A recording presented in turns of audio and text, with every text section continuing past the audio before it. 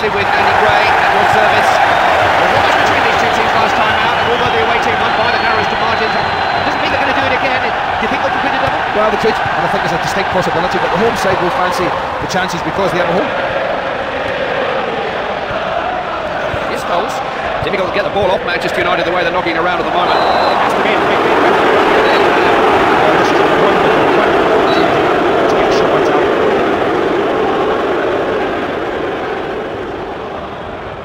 He'll have a go. Oh, that could so easily have gone in. Well, you know something, he won't come much closer. He struck that really well.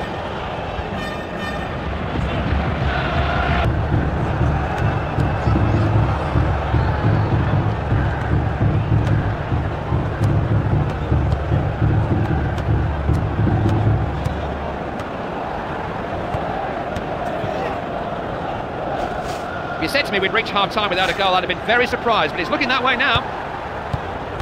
Is Rooney. Promising. Not quite what was required. You know, sometimes you need to try and be patient, find a little bit more space before you take the shot. And that is half-time, and neither side able to take a hold of the game so far. Well, sometimes like this one, I wish you would ask me. Pretty poor. Everything's been in the midfield area.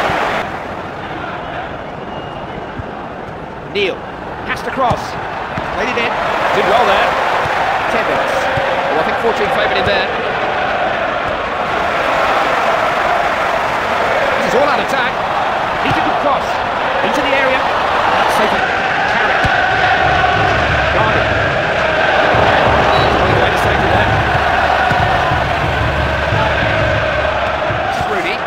Saving tackle. Can he score? A to past the. I didn't think he had that ability, but what an effort.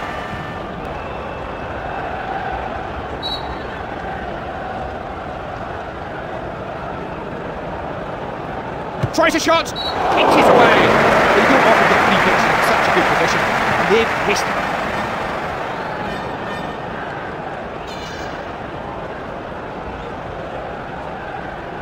Laid out by the keeper. Carrick. Rooney. Here's Cristiano Ronaldo now. Oh, he thought he'd have a go. It's by miles out. I don't know if it's a bubble as he hit it. But it just goes to show you that even the best can make a mess of it. And now Ljungberg. Maduro. And he's taking charge. Maduro. Neill. Oh, no, the ball's not short of support. Ran into trouble there. Here he comes. Getting away from danger. Anderson. Can't let it get away from him. The ball. We knew it would be tight, but not this time. Still goals. Can they get to it? Plus, they'll nail the final score. Oh dear. Well, there is nothing worse than a game without goals.